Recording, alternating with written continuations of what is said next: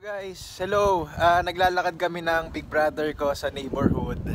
Guys, ito yung elementary school nila. Tingnan yung, tingnan yung school nila dito, oh. may solar panel So, na. oh. ito ang first stop namin. So, sa lahat ng town daw sa UK, may Tesco.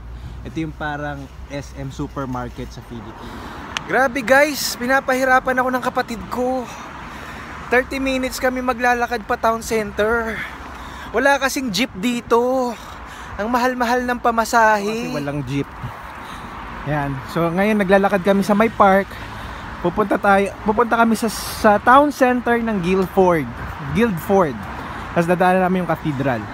Kasi gagawa ako ng article. Basahin nyo guys sa travelingpeoples.com Things to do in Guildford. O di ba considered to na probinsya pero tignan nyo naman ang underpass. May CCTV yan guys. So after nun sa Tesco, maglakad sa mga park, sa underpass. So ito yung una namin pupuntahan, University of Surrey. Tapos guys, ito naman yung ah, Guildford Cathedral. Tama ba? Guys, sa bandang gilid ng ah, Guildford Cathedral, parang maganda ring mag-picnic may dito. May butas yung ano, may butas siya. Kasi yung palang mga rabbits dyan tumitira or squirrel. So yan guys, unang araw ko pa lang sa London, mukhang eh sa Guildford, mukhang papayat na ako. So yan yung Guildford Cathedral, so selfie. Selfie. Guys, ah, tinanong ko yung kapatid ko, sa Guildford lang ba yung gantong kalsada? Yung, tignan niyo yung texture, oh. Sabi niya, kahit saan kalsada daw ng mga neighborhood ka pumunta, ganto daw yung kalsada. Ganyan yung, yung texture. Ay, may flowers, oh. So, dito sa hill na to, ito yung view ng Guildford. Maganda naman. So, sabi dito, etong cathedral na to, the 6 acres of land on which this cathedral was built were given by Richard, the 5th Earl of Onslow.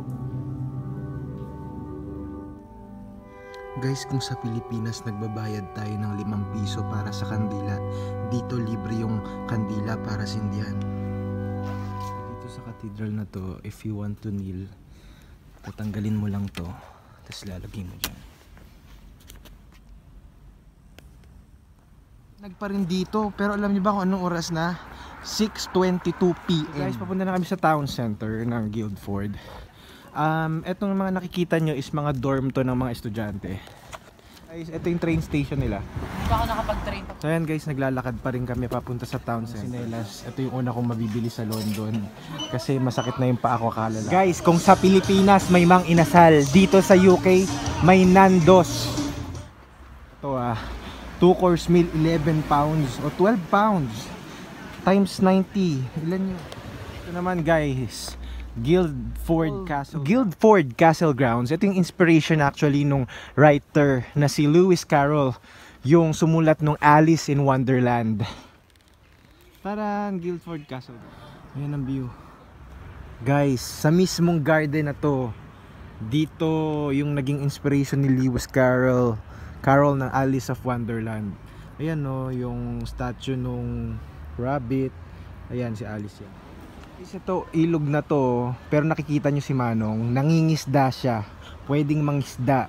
Sana sa Santa Cruz merong ganito. So, yung lamppost na yan, pero sabi nila marami daw sa London. Ko sa inyo kanina yung Nandos, so nandito kami ngayon.